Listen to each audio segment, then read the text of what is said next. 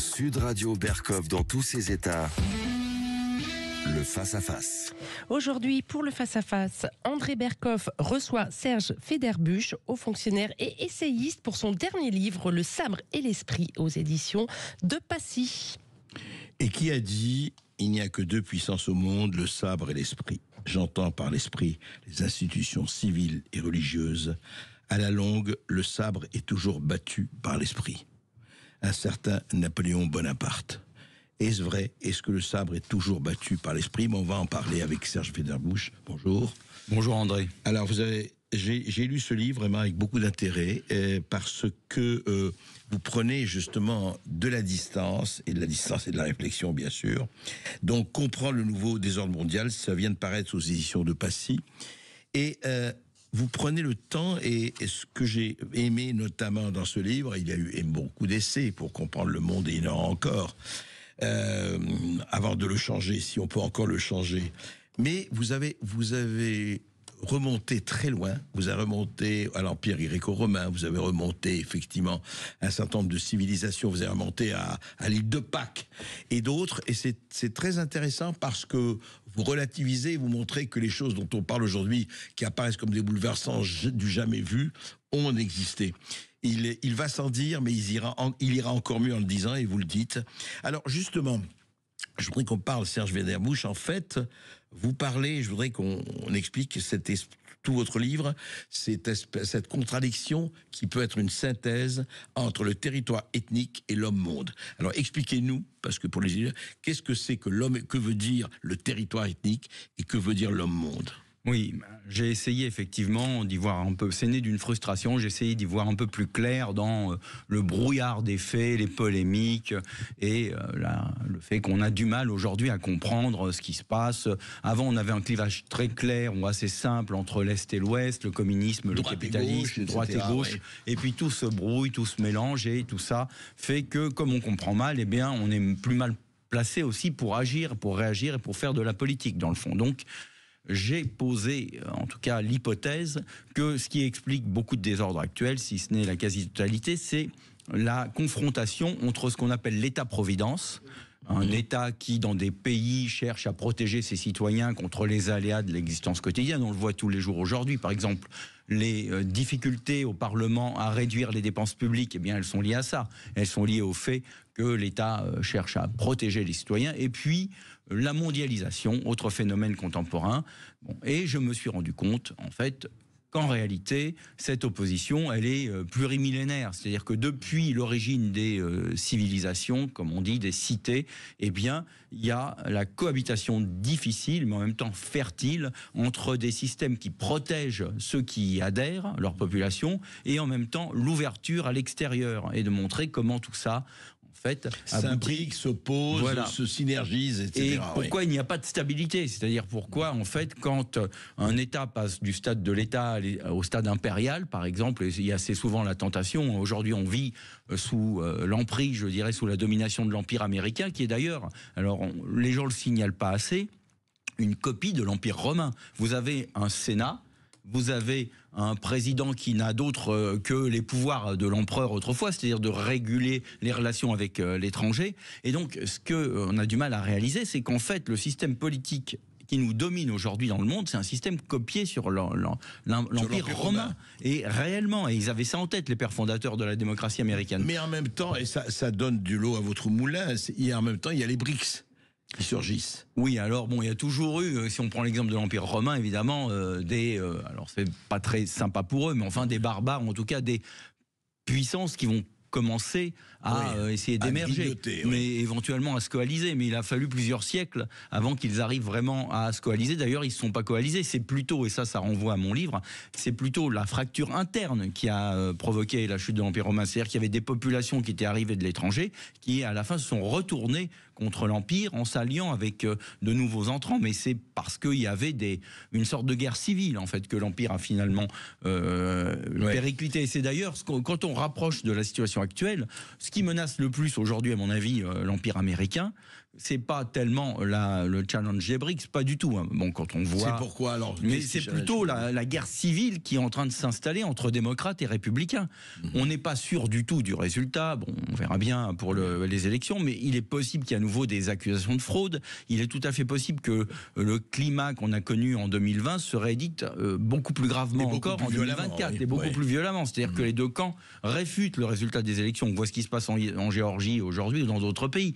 Il y a de plus en plus dans le monde une, une réfutation des, des résultats des scrutins. Si ça arrive aux États-Unis, bon, donc il y a un climat de guerre civile qui s'instaure. Il y a un isolationnisme grandissant aussi aux États-Unis, que ça soit Harris ou Trump. De toute façon, ils seront plus iso- isolationnistes Qu'avant. et plus nationalistes qu'avant. Donc de toute clair. façon, nous, en Europe et en particulier en France, on sera perdant, quel que soit le résultat du scrutin. D'accord Mmh. Donc, euh, en tout cas, on aura de graves difficultés. Dire que les États-Unis reculent, c'est complètement faux. Quand vous voyez ce que fait Musk, par exemple, avec SpaceX, en quelques années, ils ont liquidé complètement Ariane Espace et Soyuz. Quand on voit que le Texas est en train. Vous savez qu'en PIB nominal, le Texas a un PIB supérieur à celui de la Russie. Le seul Texas, je ne parle pas des Le États-Unis. seul Texas. Le seul PIB, Texas aujourd'hui, c'est plus important que la Russie. D'accord? Il y a des- une croissance très forte aux États-Unis, donc ils sont très ça. endettés, mais c'est une dire dette. que c'est la fin de l'Occident, comme disent un certain nombre d'essayistes ou d'experts, euh, ça paraît un peu Non. facile, quoi. Ce que je crois, c'est que quand on compare justement à ce qui s'est passé dans le passé, à cette opposition entre ce que j'appelle le territoire ethnique et l'homme-monde, c'est-à-dire le système d'une société ouverte avec des individus et qui peuvent commercer ou se L'homme déplacer. monde, pour vous, c'est l'homme qui peut se déplacer n'importe où Voilà. sur la planète, etc. en groupe ou en collectivité, c'est une réalité très ancienne. Quand vous faites des fouilles archéologiques, vous voyez des traces de jade, par exemple, exploitées dans les Pyrénées qu'on trouvait euh, dans, ou dans les Alpes et qu'on trouvait dans l'Empire euh, chinois.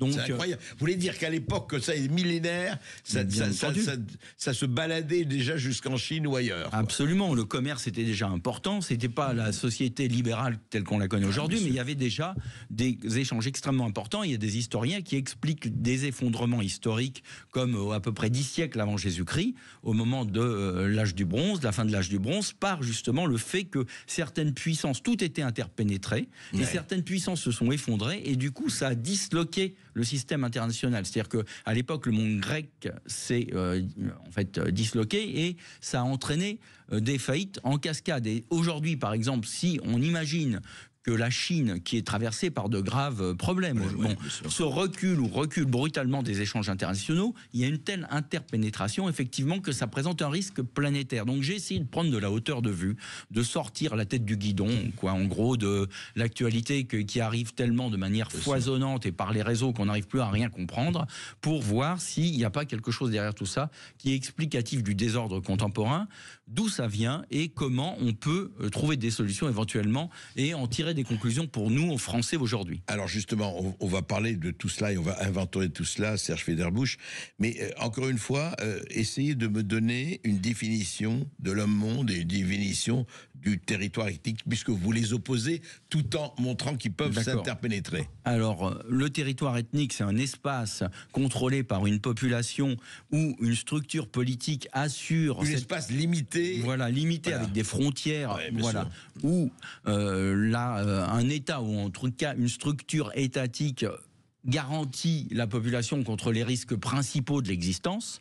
Donc, il y a quelque chose qu'on, euh, ne- qui devrait nous étonner, qui, mais qui ne nous étonne plus, de, plus depuis très longtemps. Par exemple, dans la vie citadine dans laquelle on vit, tous pratiquement, eh bien, on passe notre temps à rencontrer des gens, à croiser des gens d'accord, qu'on ne connaît pas, sans être forcément sur nos gardes, sans être, sans crainte d'être agressé. Ça, bon, ça peut changer dans Oui, certaines sûr. zones, mais enfin grosso bon, modo, oui. voilà, grosso modo, c'est ça. Mais ça a l'air de rien. On s'y est complètement habitué. Mais c'était pas du tout le cas euh, des, premières collectivités humaines, où c'est pas le cas, par exemple, de la façon dont les autres animaux vivent, où la horde, le clan sont essentiels, où chacun connaît tout le monde. Le fait de pouvoir vivre dans des collectivités où les gens se connaissent pas tous forcément, c'est quelque chose d'essentiel au développement humain et qui va croître croissant, qui va croissant. Et ça, c'est lié justement à la, à la capacité d'intégrer des influences ce extérieures. dites, et- oui, ce que vous dites, c'est l'État-providence ou le, le, le, le, le- le territoire ethnique, c'est que on, on- on- on doit protéger ses sujets, son peuple. C'est ça. Bah, S'il n'y a pas part. de protection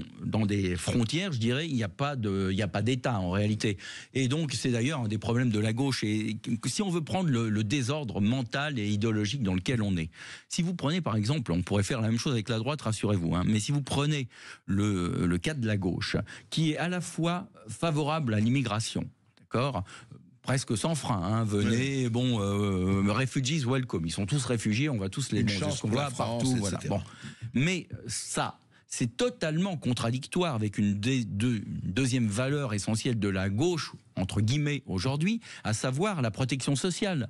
La solidarité nationale. Il est clair qu'on ne peut pas avoir un système complètement ouvert et puis réserver, avoir des systèmes extrêmement redistributifs. C'est impossible.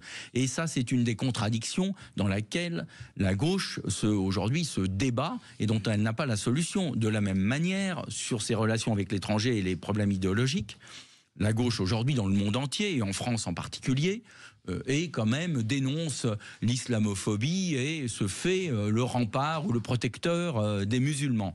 Mais l'islam, en réalité, quand vous prenez l'islam, c'est une idéologie d'extrême droite.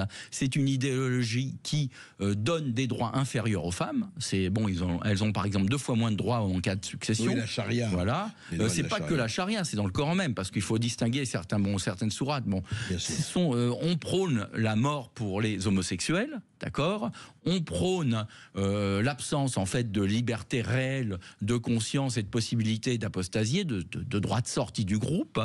On prône l'a dit euh, le, euh, par exemple le- le- la flat tax, vous voyez des valeurs de droite. Ce, ce que vous dites, en fait, Serge Verdebauche, c'est qu'il y a une idéologie totalitaire, en tout cas ce qu'on appelle l'islamisme, moi j'appelle l'islamisme, mais vous dites que la gauche épouse, Mais- en tout cas dans son islamo-gauchisme. Mais disons que, en fait, ce qu'elle défend, au nom de la défense des soi-disant opprimés, qui ne sont pas opprimés oui. partout, c'est une idéologie d'extrême droite. Et c'est pas que l'islamisme. Bon, la, quand, euh, la relation, par exemple, avec les minorités religieuses en islam est très proche d'une politique d'apartheid. D'accord? Euh, Quand vous voyez euh, ce qu'on appelle la jazia, les impôts, les, les Oui, oui. protections contre, Les contre voilà, les- et bien tout ça, c'est très proche de, l'apartheid. Donc, ça crée de la confusion idéologique dont la gauche ne se sort pas. Mais on peut voir aussi à droite des problèmes d'ajustement idéologique très profonds. C'est-à-dire qu'à à la fois, on veut développer, on veut protéger un. euh, une- les nations, en même temps, il y a des fractions importantes de la droite qui sont très très favorables aux échanges commerciaux internationaux. Oui, par exemple, on est européen à mort, Union européenne, Voilà. et on veut protéger les nations. Exactement, ce qui est bon. La France aujourd'hui crève en partie, en grande partie, d'une insertion complètement catastrophique dans euh, l'Union européenne, qui a tourné à notre défaveur totalement. On a laminé c'est une notre industrie. Ah oui, oui, bien Telle entendu. qu'elle existe, l'Union européenne. telle Mais il suffit de voir les chiffres. Regardez l'état de l'industrie française. Dans des tas de villages ou de villes françaises, vous aviez des petites industries, des coutelleries, des, des gens qui fabriquaient des tissus, etc. Ça a été laminé. Alors, et qu'est-ce qu'on a fait en échange? On a fait de la dette. C'est-à-dire qu'il y avait une espèce de pacte où les Allemands, finalement, récupéraient l'industrie et nous, on essayait d'aller vers les services en s'endettant. Mais aujourd'hui, euh, il n'y a plus d'industrie en France, la dette devient insupportable et elle sera insupportable pour toute l'Union européenne, la dette française bientôt. C'est pour ça qu'un jour les Allemands en auront marre, c'est peut-être eux qui quitteront l'Union européenne avant nous. D'accord? Mais en tout cas, c'est quelque chose qui a démoli la société et euh, d'abord l'économie française. Donc, ces contradictions-là, elles sont liées à euh, une insuffisante réflexion. Et la construction européenne a été faite par des gens qui n'ont pas suffisamment pensé justement à ce qu'ils voulaient obtenir et qui ont mis la charrue avant les bœufs, l'économie avant la politique. Et du coup, aujourd'hui, la politique se venge de l'économie. Et savoir si effectivement il y a ça, ou est-ce qu'ils y pensaient, ou est-ce qu'ils pensaient à autre chose, qui est une certaine mondialisation, et on pourra en parler. Euh, juste après cette petite pause, on se retrouve. Le sabre et l'esprit, un livre à lire. 0826 300 300 pour poser votre question ou réagir sur notre antenne. Berkoff, dans tous ses états, revient tout de suite. Sphère. Sud Radio, Berkov dans tous ses états. Serge Federbush, vous écrivez dans votre livre Le sabre et l'esprit, je voudrais revenir là-dessus. Vous dites à un moment donné, Il apparaît de plus en plus clairement que les gouvernants, quels qu'ils soient, fonctionnent par la peur et utilisent des épouvantails pour conditionner l'opinion. La Covid-19, le dérèglement climatique supposé ou la guerre en Ukraine en sont les derniers exemples. L'emballement mimétique et médiatique qui a conduit les États à une surenchère liberticide lors de la panique sanitaire de 2020-2022 n'a épargné ni les systèmes déjà libéraux, ni les systèmes dits autocratiques. Alors justement, je voudrais parler de ça parce que c'est un peu le, le, le, dit de votre fil rouge on dit, voilà, on est toujours, euh, et vous dites que ce n'est pas nouveau, et vous avez raison de le dire, entre liberté et sécurité. Faut-il plus de liberté ou plus de sécurité? Est-ce que liberté, sécurité, quand je dis pour sécurité, protection évidemment des gens, qu'est-ce qui compte? Est-ce que les gens, en fait, profondément, disent, oui, attendez, la liberté c'est très joli, mais moi c'est la sécurité que je mets au premier plan Qu'est-ce qu'il en est de cette espèce de dichotomie et qu'on sent euh, à tous les niveaux? Ben, je pense que les gens et les êtres humains sont pas tous pareils. C'est-à-dire que il y a une variabilité. Il y a des gens qui privilégient euh, l'audace, l'aventure, la prise de risque, et puis il y a des gens qui privilégient la, euh, euh, la recherche de la sécurité. Et donc, justement, les sociétés plus ouvertes qui se développent ont du mal à rester très longtemps autoritaires quand elles s'ouvrent parce que en fait, quand on veut, quand on admet euh, la multiplication des échanges avec l'étranger, on a de plus en plus de mal quand on est un, quand on est un État à contrôler sa population. On voit par exemple ce qui se passe dans la Chine contemporaine. C'est-à-dire qu'ils ont beaucoup de difficultés. Ils ont ouvert considérablement leur économie euh, au monde extérieur. Ils en ont même fait, enfin, le Parti communiste chinois, c'est une sorte de, de, de conseil d'administration gigantesque qui gère à la fois euh, qui donne des règles pour, euh, qui sont ultra libérales pour les PME, très directives pour les grands groupes, et puis très autoritaires en politique intérieure. mais depuis Tiananmen, ils ont en fait noyé la contestation dans la croissance. Si la croissance recule très rapidement, leur système, bon voilà. Et on a vu ça au moment du, du Covid, c'est-à-dire que Xi Jinping, quand même quelqu'un d'extrêmement autoritaire, qui revient vers un comportement, un mode de gouvernement quasi maoïste en Chine, voilà. Eh bien il, a, il est allé un peu trop loin. Et puis il y a eu des, troubles à Shanghai, il a dû reculer. Et donc on est vraiment dans une situation où, dans une économie ouverte, dans un monde ouvert, dans un, homme, dans un monde où l'homme-monde et a, son mot à dire, je dirais, est, une réalité, où les échanges internationaux sont une réalité, eh bien les pouvoirs autoritaires ont beaucoup de difficultés à se maintenir dans le long terme. Donc voilà, je crois qu'il n'y a, pas, il y a, pas de règles, ça dépend véritablement des, psychologies individuelles. on peut dire quand même, on peut dire quand même dans l'histoire, et je voudrais qu'on puisque vous, vous, vous, l'appelez à la barre du tribunal assez souvent. Euh, une majorité on peut dire quand même qu'une majorité pour la sécurité par rapport à la liberté, c'est quand même une minorité toujours qui bouge, qui sort de sa zone de confort, non? Dans l'histoire, parce que vous en parlez un peu à travers l'histoire. Je pense que c'est plus subtil que ça. Je pense que justement là. Euh, le talent n'est pas, je vais dire quelque chose qui va un peu choquer, mais le talent n'est pas démocratique. Et la prise de risque n'est pas démocratique, le goût pour l'aventure n'est pas démocratique. Bon, donc il euh, faut l'accepter. Hmm. Il y a des gens. Alors je renvoie ça. Moi, j'avais écrit un, un, livre précédemment euh, à un certain nombre de phénomènes où euh, l'homme a dû, en fait, en se séparant des groupes auxquels il appartenait, enfin un certain nombre d'individus a dû prendre des risques. fait. Bon, des prendre des risques même physiques en prenant le risque de, alors là, ça va paraître un peu incongru, mais de grimper aux arbres. Et comme l'homme est l'animal qui peut à la fois le plus facilement grimper et qui est le plus fragile en cas de chute, eh bien, il en a développé une, peur de ce qu'on appelle le vide, une peur en fait de ses sens. Et c'est à l'origine, à mon sens, du développement des concepts, des idées. Donc, cette idée que l'homme, l'individu peut se séparer des groupes, mhm. peut se désaffilier au, groupe est fondamentale dans la euh, dynamique des sociétés humaines. Voilà et que, euh, évidemment, tout ça n'est pas démocratique. Le fait que des individus puissent chercher à, se, à quitter euh, la famille, la religion, la société, la ville à laquelle ils appartiennent, ça a souvent été combattu. Hein, c'est pour ça qu'on a inventé le servage ou l'esclavage. Mais à la fin des fins, ça a toujours fini par triompher parce que sinon, ça crée des problèmes d'inégalité sociale et des tensions sociales insurmontables dans les sociétés qui refusent l'ouverture. Alors, il y a un exemple, j'en parlerai rapidement, c'est celui d'une société qui a voulu fermer complètement régulé les relations avec l'étranger qui étaient pourtant développées. C'est le Japon de l'ère euh, Edo. Donc euh, de Vers quelle époque, C'était entre le 17e, le 16e, 17e et le D'accord. 19e siècle au Japon. Ils ont fermé le pays qui était devenu une, euh, qui était euh, une sorte de mystère. Les gens étaient fascinés par ce Personne ne Japon. pouvait venir, Euh, personne il y avait que quelques marchands hollandais qui avaient le droit dans la baie de Yokohama de décharger des cargaisons tout, et les étrangers et les japonais n'avaient pas le droit.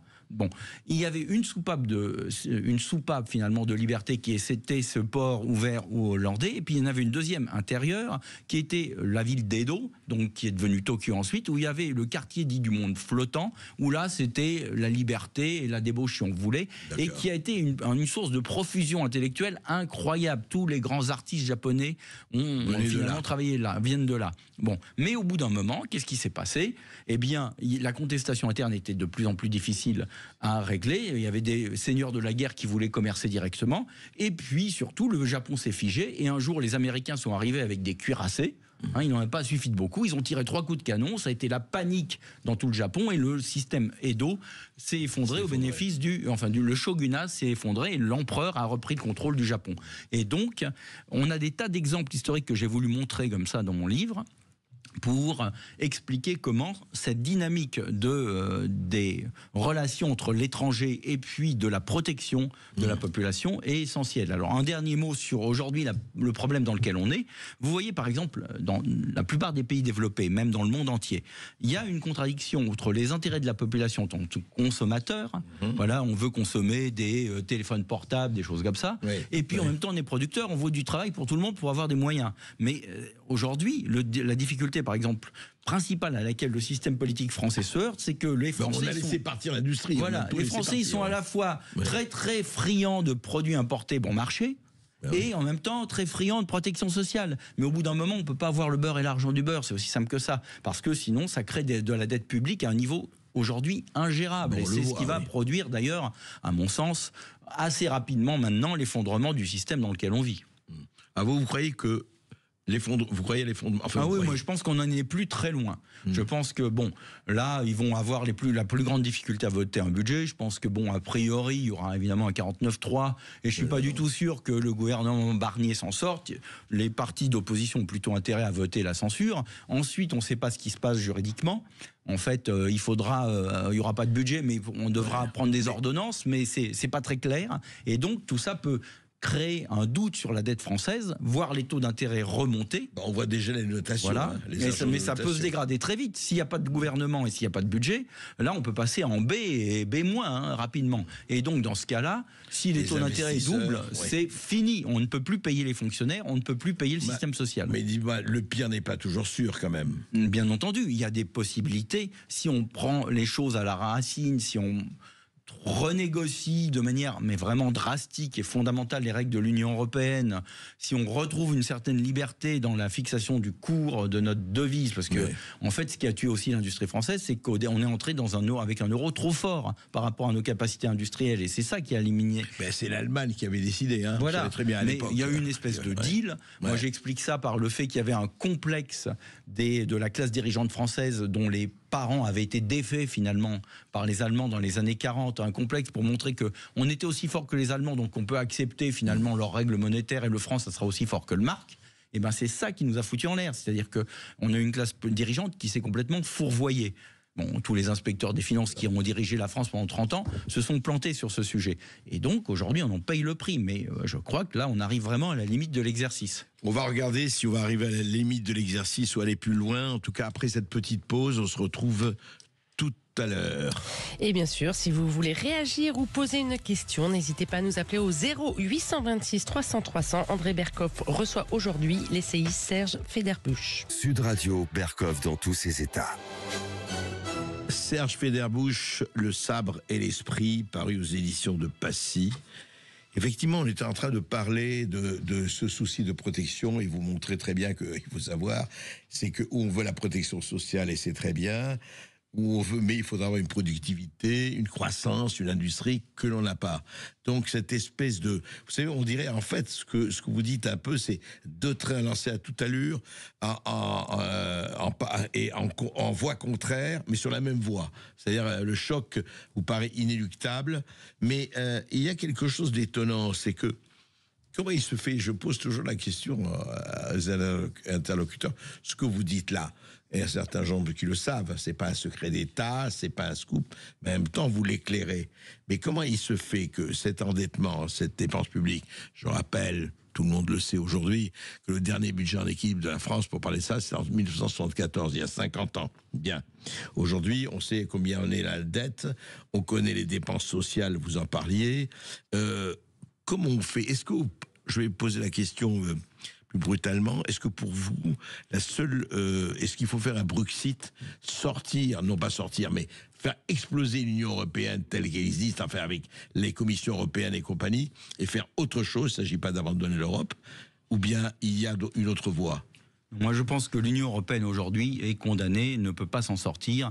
J'utilise dans mon livre, euh, en fait, l'image euh, d'Anthony Perkins et de Psychose, le film d'Hitchcock. Vous voyez, où la mère est morte et ils s'en rendent pas compte, ils veulent pas l'admettre. Bon, l'Union européenne, ça a été mal conçu et ça va à la catastrophe. Donc, de deux choses l'une, soit on arrive à en sortir proprement pour peut-être se donner la chance de la rebâtir correctement, soit on n'y arrive pas et à ce moment-là, ça va partir dans tous les sens et ça va exploser. Donc euh, moi je crois que, bon, comme je l'ai dit, euh, il y a d'autres pays avant nous qui risquent de prendre la tangente. Hein. Il y a déjà eu les Anglais, mais les Allemands peuvent aussi bien partir parce que les Allemands actuellement, qu'est-ce qu'on leur fabrique avec les dettes des pays du Sud, en particulier la dette de la France? On leur fabrique finalement euh, un endettement qui ne leur profite de, qui leur profite de moins en moins. En plus, et on voit Volkswagen licencie 200 000 personnes. Et puis vous allez voir la, la, population allemande, on l'a malheureusement vu dans l'histoire, est beaucoup plus radicale quand elle prend des tournants que la population française qui est plus mmh. assise finalement d'un tempérament plus paysan et plus pondéré. Plus rond, plus, rond, plus, pondéré. Les Allemands, quand ils se fâchent, hein, malheureusement pour nous, on a compris à plusieurs reprises dans l'histoire que ça pouvait euh, aller très loin, très vite, très mal. Donc, euh, vous pouvez avoir des partis allemands comme l'AFD ou autre, et même ça peut euh, tout à fait un jour ou l'autre concerner la CDU, qui disent bon maintenant on en a marre de ce truc qui nous amène à la ruine et on va s'en aller.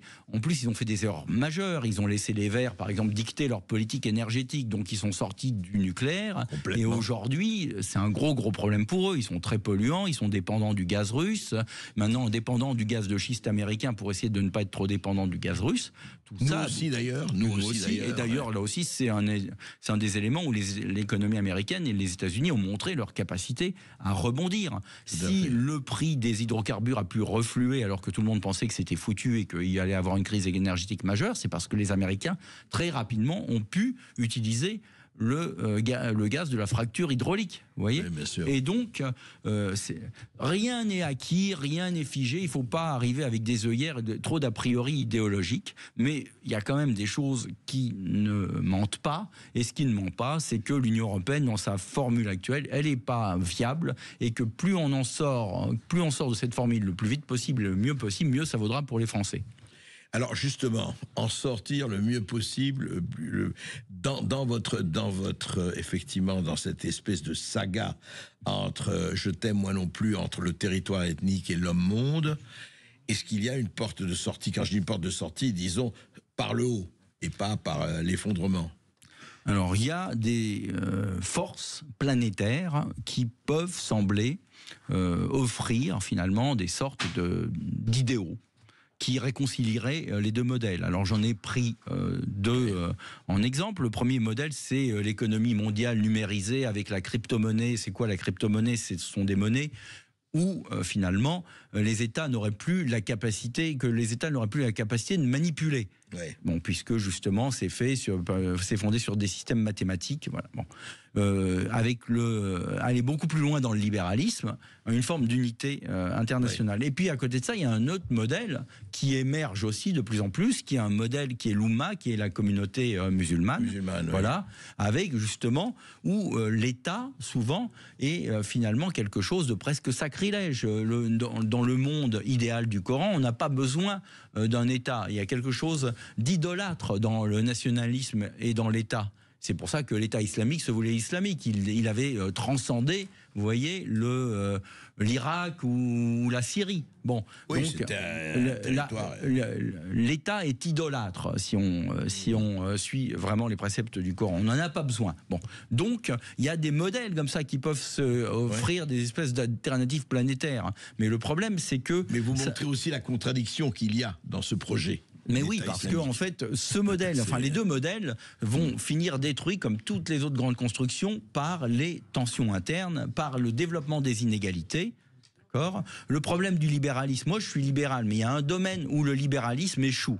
Avant tout, c'est que quand le libéralisme, c'est quand même l'idée que le meilleur va agir au, au bénéfice de ses intérêts Oui, et finalement ça va bénéficier à toute la société. Ce qui est faux. Le problème, c'est que le meilleur, il est le meilleur de manière répétée.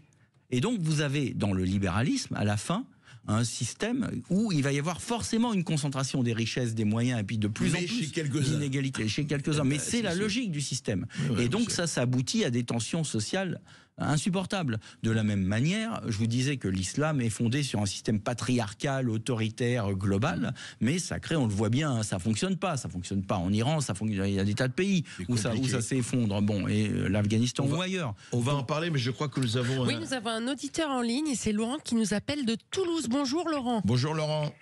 Oui, bonjour André, bonjour à votre invité. J'ai l'impression d'entendre un ami.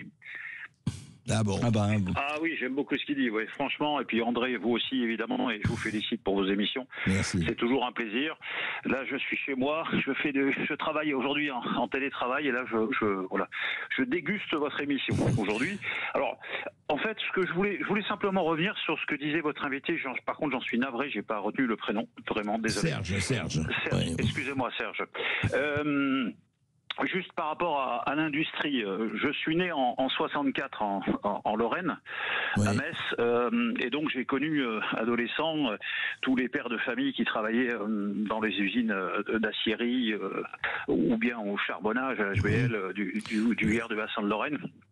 Et donc euh, euh, c'était euh, c'était des années euh, des années où- où d'insouciance puisque tout le monde travaillait, il n'y avait pas de souci. Mhm. Tout à l'heure, Serge disait que effectivement on a détricoté l'industrie, mais c'est une réalité. Mais c'est une réalité qu'on a subie. Moi, je ne- personnellement, étant gamin à ce moment-là, ou même mon père qui bossait lui à la SNCF, mais tous ces jeunes qui montaient d'ailleurs pour la plupart du midi ou d'ailleurs venir bosser là où il y avait du boulot. Mhm. Euh, ont été victimes de, de, de cette désindustrie, de cette Ah mais ça, tout le monde est désindustrialisation. d'accord, ça. Et, et- et- et je m'en sens pas responsable. Donc, euh, personnellement, pour la plupart d'entre nous, on subit ce système en fait, Oui. parce que euh, je suis né en 64. Aujourd'hui, ben, je- je- il me reste encore quelques mois avant la retraite. Donc j'ai vécu euh, l'avant, j'ai connu l'après, et je m'aperçois que plus je vais dans le temps, bah, plus mon pouvoir d'achat se casse la figure, euh, moins j'en ai, euh, plus je me sers le kiki, etc., etc. C'est-à-dire j'en reviens à presque mes années euh, de, de jeunesse où, où je démarrais à bosser, quoi. Donc j'ai fait un bond en avant, puis maintenant on voit bien que tout redescend. Donc moi, ce système capitaliste, il m'intéresse ou il n'a de sens que s'il profite à tous. Quel Bah, est c'est l'intérêt toute la question. C'est toute la bah, question, Serge. voilà, Ouais, ouais. quel est l'intérêt d'avoir des gens qui font des milliards, des millions et des millions chaque année sur les chaînes info J'écoute beaucoup euh, Sud Radio. Vous relayez le fait que euh, les dividendes à l'actionnariat financier euh, battent des records, et ça depuis des années. J'entends ça depuis au moins 10 ans, chaque vrai. année au mois, au mois de janvier. Mais Bon. oui, mais ça marche très bien. Et, et dans le même temps, euh, chez moi, je demande à ma fille, hein, je lui dis tous les jours, écoute, qui vit avec moi, je lui dis, écoute, c'est pas Versailles ici, donc tu me coupes les ampoules, tu baisses un peu le chauffage, etc., etc. Bon, on en a un point à mettre des polaires chez nous. J'habite pas un château, j'habite un 60 mètres carrés. Voilà, donc on se sert le kiki surtout. Et de ce temps-là, on entend dire que des gens, bah, on redistribue des, des milliards et des Mais milliards et des milliards. c'est ce que, en fait, oui, tout à fait, c'est ce que Serge Federbush appelait le sentiment d'inégalité, et Dieu sait s'il s'il euh, augmente aujourd'hui. Alors, Ça. Bon, il faut voir que, évidemment, euh, ça va pas bien en France, ça, on en est tous conscients. On, on souffre tous à des degrés divers. hein. Bon, euh, il y a très peu de gens, dans le fond, faut pas croire, hein, qui sont complètement à l'abri. Ils ont tous des enfants, de la famille, des gens qui peuvent avoir des difficultés. Enfin, c'est quand même très largement partagé. Mais ce qui caractérise quand même la France, c'est les mauvaises performances. Faut pas croire que ça va aussi mal partout. Si vous allez euh, bon en Suisse, aux États-Unis même dont on parlait, euh, il y a des pays qui s'en sortent mieux que nous, hein, nettement, nettement, nettement. Dans Oui, les, euh, pourquoi mais- Pourquoi parce que- à ça. Pourquoi mais parce qu'ils ont des systèmes politiques qui sont plus flexibles, euh, moins fondés sur une espèce de noblesse d'État, qui s'ouvrent davantage, qui sont moins corrompus aussi, qui s'ouvrent davantage aux, aux nouveaux entrants. La France, c'est un pays extrêmement conservateur. Quand les gens ont des idées neuves, généralement, ils sont réprimés. Si vous prenez les 50 personnes les plus riches en France aujourd'hui, c'est à peu près, aux familles, c'est à peu près les mêmes qu'il y a 20, 30, 40 ou 50 ans. À peu près. Il y a, bon, un peu euh, Bernard Arnault et Pinault qui ont un peu monté, mais ils étaient déjà riches euh, il y a 20 ou 30 ans. D'accord? Mais ça n'a pas bougé. Vous prenez les 50 plus grandes fortunes aux États-Unis, mais il y en a peut-être deux ou trois parmi euh, ceux qui étaient les 50 il y a 20 Il ou y a, 30 il y a ans. les GAFAM, il y a Mais, Silicon Valley, bien et entendu. puis les autres, Et, oui. et le problème, c'est qu'en France, on empile les classes dirigeantes. Et c'est c'est ça qui aboutit aux révolutions aussi. C'est-à-dire que, comme dans une société, alors là, c'est un petit peu subtil, mais je pense qu'il faut suivre le raisonnement. Quand il y a une société ouverte qui fait que les inégalités euh, se développent et que le commerce se développe, les anciennes élites finissent par souffrir, d'accord? Bon, mais alors qu'est-ce qu'elles font? C'est si, c'est ça qui a provoqué en grande partie la Révolution française. Les nobles, les aristocrates qui ont souffert quand l'économie s'est ouverte sous Louis XV et au début de Louis XVI, se sont réservés les emplois publics, sont devenus de plus en plus conservateurs. Ils ne laissent Et- pas la place. Voilà. Pas Et donc, place. il y a une forme d'empi- de, de- Du coup, l'État grossit, grossit, grossit. C'est ce qu'on voit aussi en France aujourd'hui. L'État grossit de plus en plus. On empile les protections. D'accord Parce qu'on veut à la fois une économie ouverte et en même temps on veut protéger la population. Et puis à la fin, ça devient ingérable budgétairement. Et on appelle les conseillers, les McKinsey, Voilà. tout Et ça. à la fin, on s'effondre parce que on est trop endetté. Ça aboutit à la crise de l'ancien régime. C'était la problématique des années 1780 à 1789. Et aujourd'hui, on est exactement dans la même problématique. Exactement. Il ne faut pas croire qu'on vit des choses nouvelles. Donc, euh, la France en sort mal. Pourquoi? Parce que c'est un pays trop conservateur et ça touche aussi la population. Il n'y a pas que les, les, les dirigeants. Mais hein. On verra s'il y a des gens près à- qui ont envie de prendre des nouvelles Bastilles. Ça, c'est un autre problème. Je crois que nous avons, euh, nous avons un. Non, ah non, non. Je pensais que nous avions. Alors, nous allons prendre une petite pause et nous allons retrouver Serge Federbush dans un petit moment. Mais vous pouvez nous appeler au 0826 300 300 si vous avez une question ou si vous voulez réagir à ce que vous entendez. À tout de suite. Son dernier livre, Le sabre et l'esprit, qui est paru aux éditions de Passy. Nous avons euh, Frédéric qui nous appelle de Paris. Bonjour Frédéric. Bonjour Frédéric. Bonjour, bonjour André, bonjour à votre invité. Euh, oui, je suis ravi de, de l'entendre parler de la révolution de 1789 parce que en fait, c'est exactement ce que je pense. Il se passe peu ou prou ce qui s'est passé à l'époque. Euh, en fait, les, les- les- les raisons sont plus ou moins, euh, plus ou moins les mêmes. Euh, le déclencheur à l'époque a été la crise du, la crise du grain, euh, avec des, des mauvaises récoltes qui, qui ont fait que les gens n'avaient plus à bouffer. Mais finalement, on n'est pas très très loin de ça. On s'en approche gentiment. Je sais pas ce qu'il en pense. Est-ce qu'on s'approche gentiment de, de, de- de- du tiers-État et de la révolte du tiers-État contre le clergé capitalo-médiatique euh, et la noblesse Bon, on ne sait jamais, on sait jamais, euh, cher Oui. André, quel va être l'élément déclencheur final. Ça peut être une hausse complètement incontrôlée du prix du pétrole, par exemple, qui, font, que- qui fait que tous les gens qui ont absolument besoin d'un véhicule pour aller au travail ne Ça peuvent. peut être, bon, pardon, des, des taxes. Oui, des des impôts, taxes. euh, bon, voilà, une, taxe qui va finir par énerver euh, tout le monde, une interdiction de trop, euh, un, euh, un attentat qui va tourner au vinaigre parce qu'on se rendra compte que là, vraiment, il y a eu une insuffisante euh, pré- préparation à, à ce genre de choses, ou euh, une percée du front, par exemple, euh, par les Russes en Ukraine, qui provoque un effondrement de l'Ukraine, justement, et ensuite, de proche en proche, un retour de la hausse du prix de l'énergie, etc. On est dans un système très fragile. On a un État qui est de plus en plus paralysé, et quand on est paralysé du fait d'une espèce d'obésité, le problème, c'est que face à un événement extérieur, imprévisible, ou intérieur même Hmm. En imprévisible, peut pas se mouvoir tellement voilà, il est gros. on peut pas, ça. on peut pas, on peut plus réagir. Et là, qu'est-ce qui se passe actuellement au Parlement? Il se passe quoi? Il se passe que l'État ne peut plus prendre de loi nouvelle. Du tout. Donc ils essaient de faire voter le budget au forceps. C'est pas sûr du tout qu'ils y parviennent, même si Barnier y parvient. C'est-à-dire que s'il y a un 49-3 et que le RN décide de lui donner euh, la chance d'exister encore, ouais. mais ensuite qu'est-ce qu'il va faire? Il pourra, il, il pourra plus voter une seule loi. Ça va être la paralysie complète. Donc ça peut marcher. On peut. Il y a 50 000 Oui. lois en Florence. On peut ne rien faire. On peut euh, se contenter de décrets au jour le jour. Le seul problème, c'est que ça ne permet pas de faire face justement à des événements imprévus. Et donc, euh, l'État est paralysé. Et quand l'État est paralysé, un jour, il suffit d'une pichenette pour le mettre à bas. Quoi. Donc, euh, euh, cette pichenette, elle peut prendre n'importe quelle forme. Je suis d'accord avec votre auditeur. On ne sait pas laquelle elle sera, mais en tout cas, on est sûr qu'à un moment ou un autre, quand on est paralysé, on n'est pas armé pour se défendre. Mais je voudrais, je voudrais alors revenir un peu, on, on va parler un peu des élites, parce que les élites, en fait, il faut des élites. Peut-être qu'il ne faut pas celle-là, il faudrait que les élites se renouvellent. Qu'est-ce qui fait Alors là, je parle, puisque vous avez, vous avez étudié les peuples, vous avez étudié les civilisations et les empires. Qu'est-ce qui fait qu'à un moment donné, ces élites, et on le voit très très fortement, euh, pas seulement en France, hein, mais en Europe et ailleurs, enfin, en, en tout cas dans, dans un certain nombre de pays, c'est patent. Qu'est-ce qui fait que ces élites, qui sont ni moins bêtes, ni, ni moins, ni plus bêtes, ni moins bêtes que d'autres, ni plus compétentes, enfin je ne sais pas, mais en tout cas connaissantes euh, que l'autre, qu'est-ce qui fait qu'ils n'arrivent absolument pas à gérer la situation et qu'ils ne voient même pas ce qui se passe?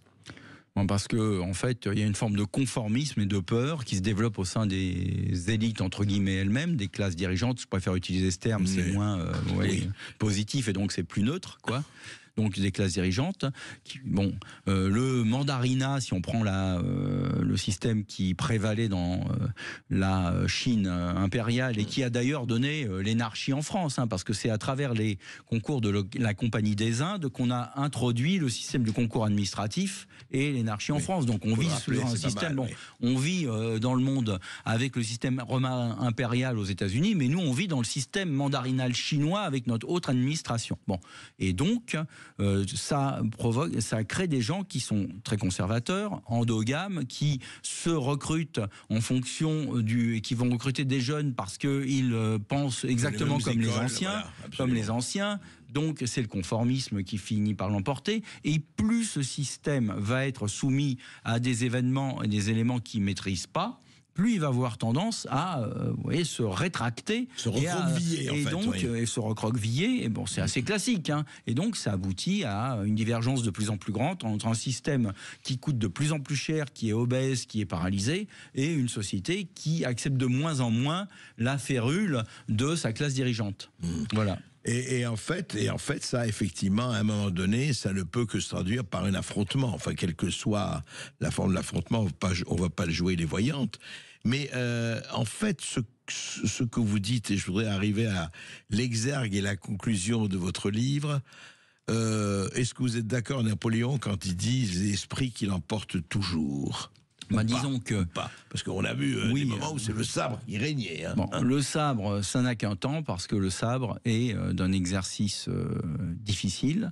Il faut que euh, celui qui l'utilise soit d'abord au front. Un des grands, euh, bon, les, les empereurs romains, finalement, l'empire romain a bien fonctionné quand l'empereur était à la tête des troupes, des légions.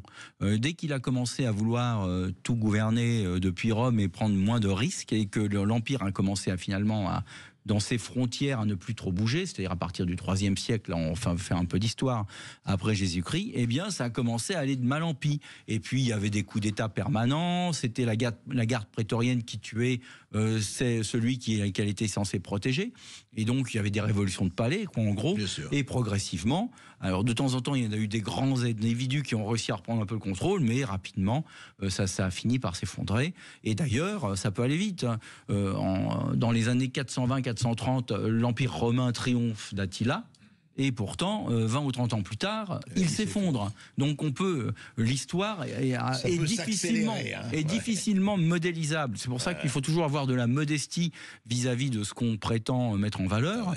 Et on peut être La chute de l'Empire, la ça, de euh, la roche de est proche du Capitole, et donc un faux pas, et boum, on est par terre alors qu'on se croyait sur un trône. Hmm. Donc euh, je crois qu'on est dans une situation aujourd'hui où cette euh, incertitude est ce qui prévaut, et c'est ce que j'ai essayé de montrer dans ce livre, et de montrer aussi comment on peut, euh, en comprenant peut-être un peu mieux, pas forcément son prémunir, mais en tout cas euh, préparer un En tout petit cas, peu. au moins euh, avoir une, une leçon de lucidité sur les choses, c'est ce que vous avez fait, ce que vous avez écrit, Le sabre et l'esprit.